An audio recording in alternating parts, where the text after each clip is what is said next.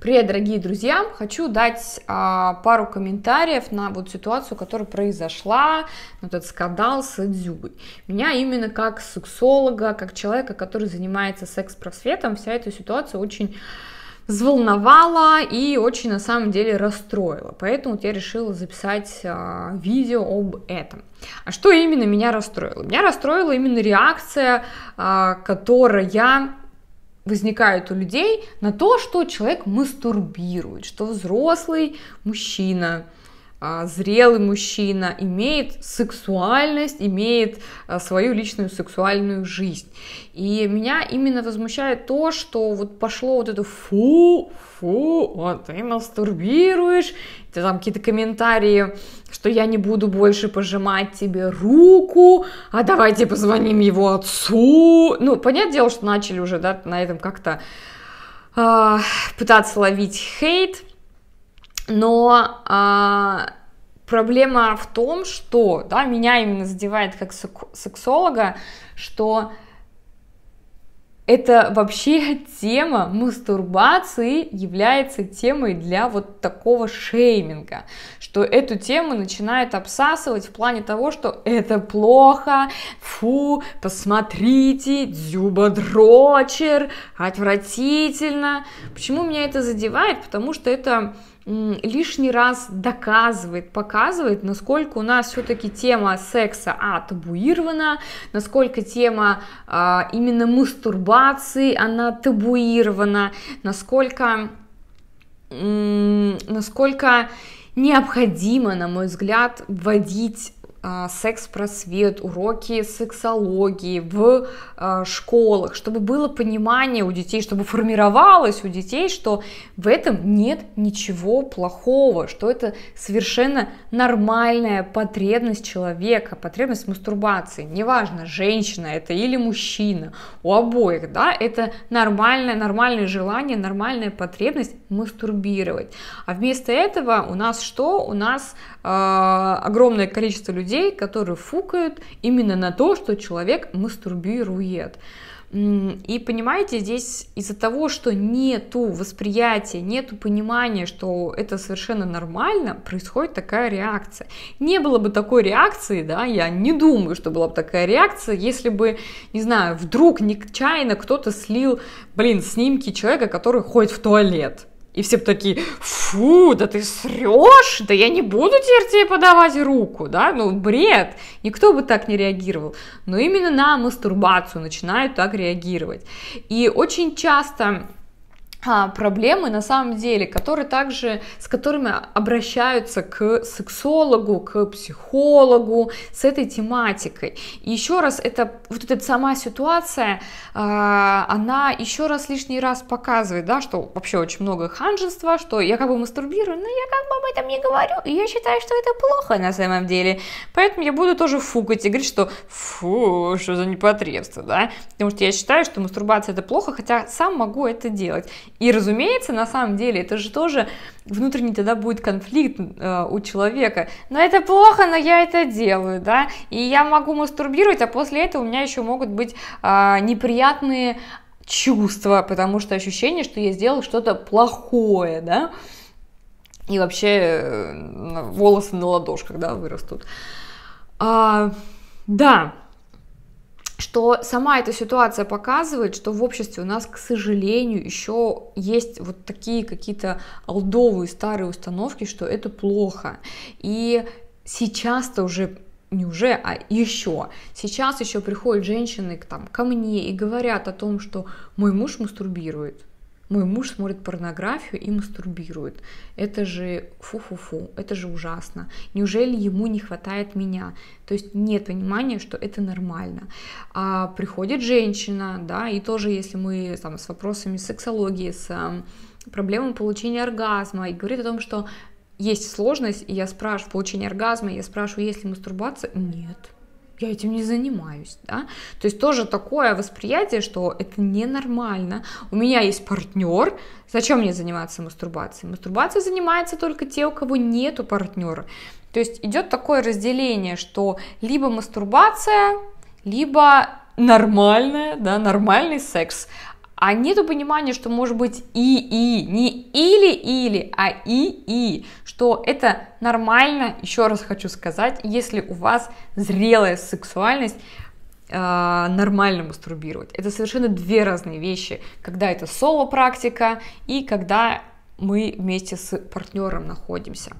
Но за счет вот этих случаев еще больше идет табуирование вот этой темы, еще больше идет прессинга на мастурбацию, и еще больше такими э, вот такими такими ситуациями показывается, что вы должны стесняться мастурбации. Мастурбация это неприемлемо, это ненормально, нездорово для человека.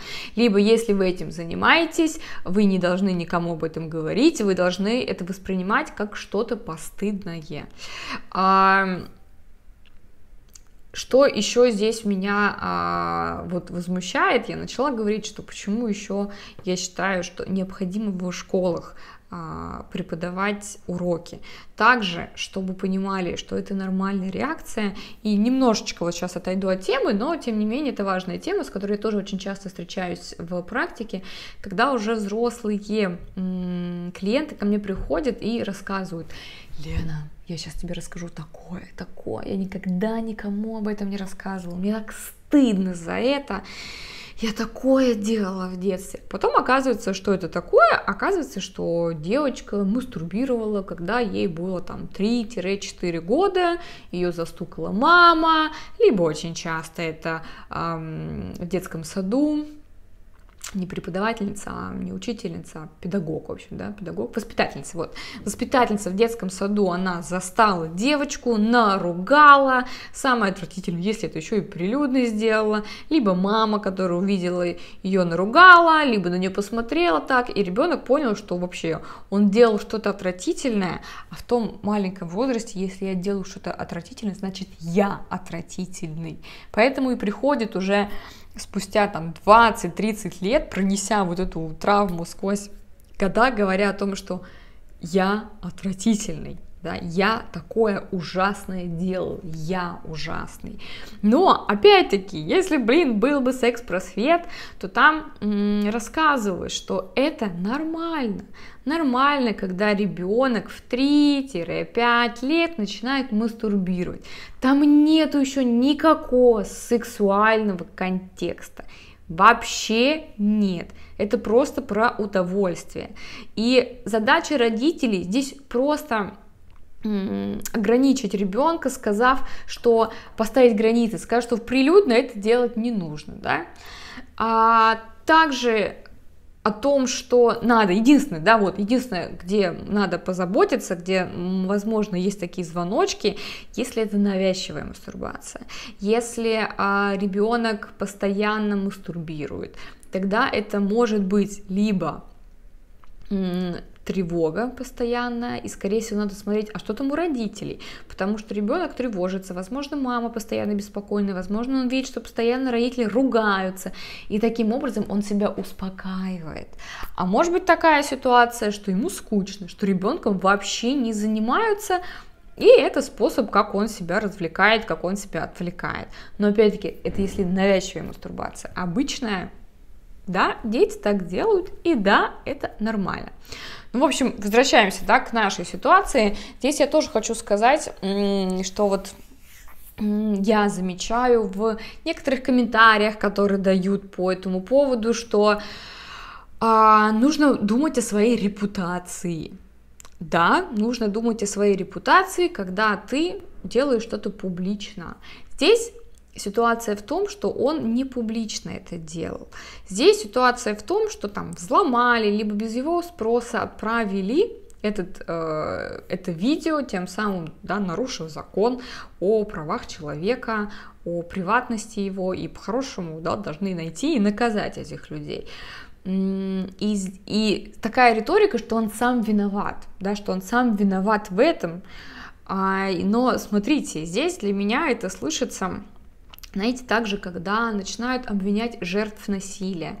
Ты сама виновата, сама дура, что одела короткую юбку. юбку. Что, мозгов нету, надо было думать, сама виновата.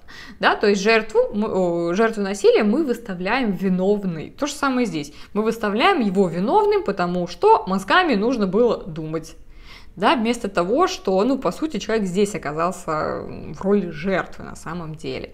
И после этого, более того, он еще извиняется, да, извиняется за то, что я вот мастурбировал, как-то он еще, знаете, сказал, что мы все не без греха. То есть, опять-таки, да, восприятие того в наших головах, что мастурбация – это грех. Так не должно быть. Должно быть так, что это нормальная потребность человека. Что еще я замечаю, да, вот в комментариях какие были, что Умные люди этим не занимаются, не снимают видео, а, что вот есть там преподаватели, педагоги, врачи, ученые, вот они не будут этим непотребством заниматься, да, а вот люди, у которых, ну, мозгов не очень много, они тогда и будут э, делать такие вещи.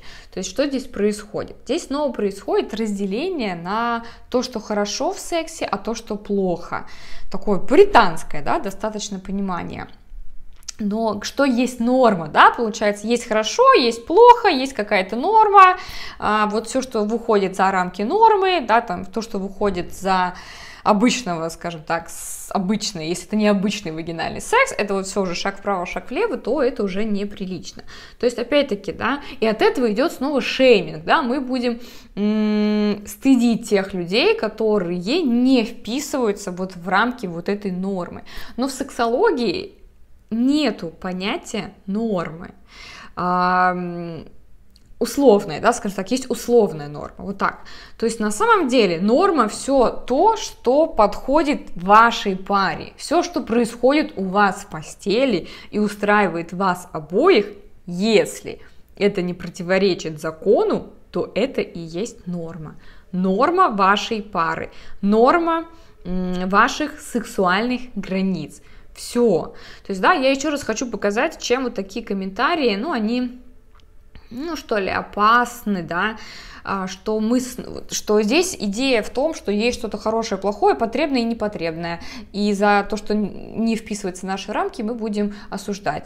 А, то же самое, да, что гомосексуализм не вписывается в наши рамки, мы будем а, осуждать. БДСМ, то, что раньше было, да, тоже не очень вписывалось в рамки, и все такие, о, извращение какое-то. Сейчас к этому, слава богу, уже, да, более-менее нормально относятся. Но все равно, да, это что-то такое, мы будем это осуждать.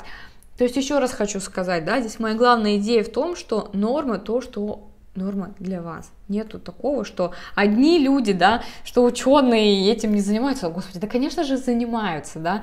Нету такого, что вот мозгов нету, все, я буду, не знаю, развратным, а вот я ученый, и мне некогда думать о... и вообще думать, заниматься сексом, таким сексом, как мне хочется.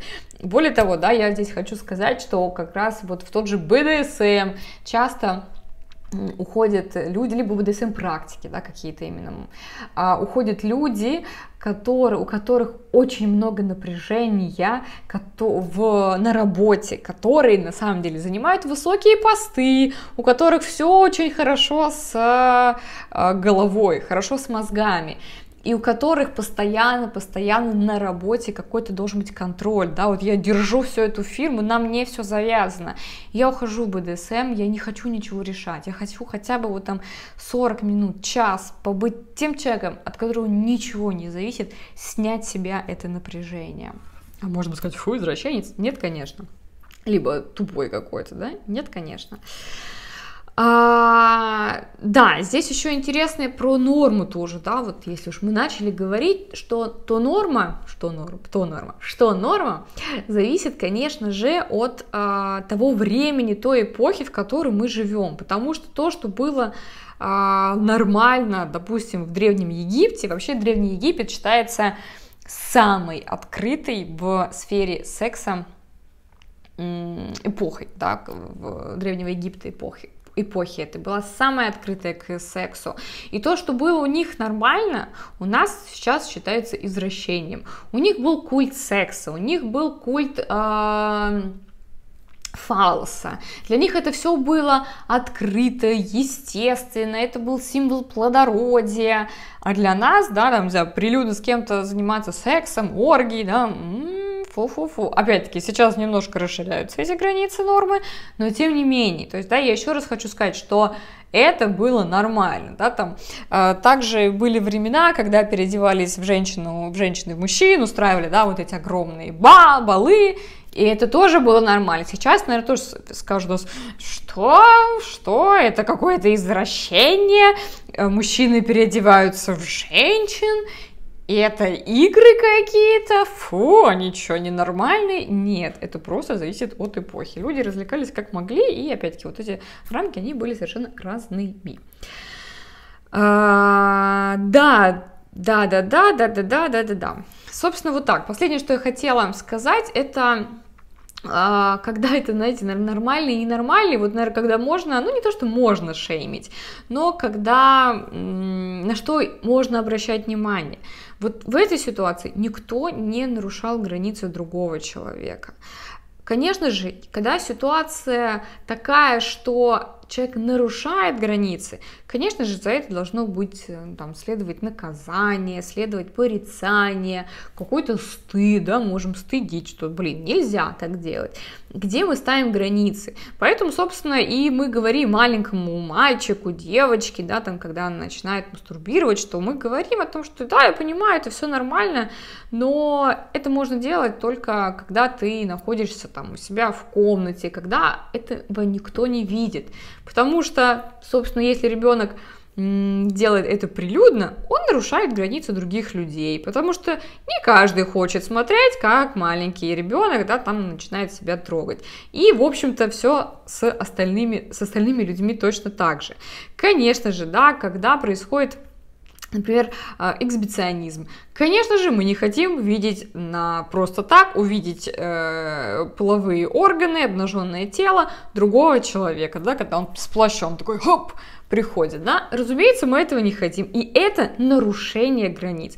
Нарушение, конечно же, границ, когда присылают видео э, со своим членом, да, э, мало знакомой девушки, с которой там только-только познакомились. Это нарушение границ?